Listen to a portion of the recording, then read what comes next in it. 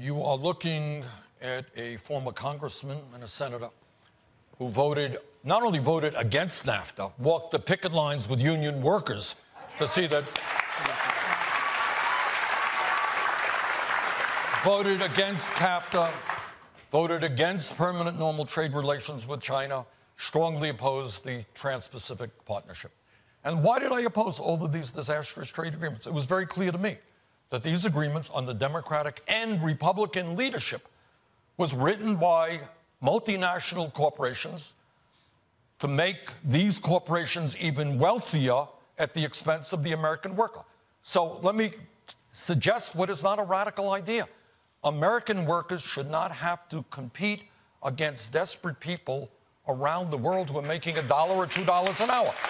Now, I think, I think we have a moral responsibility to lift up poor people around the world along with the rest of the wealthy countries. But you can do that without engaging in a race to the bottom.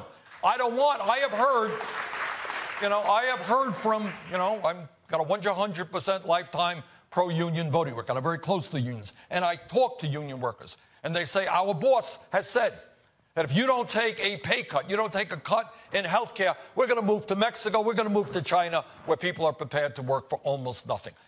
So we need a trade is a good thing, but we need a trade policy that works for working families and not just for the large corporations.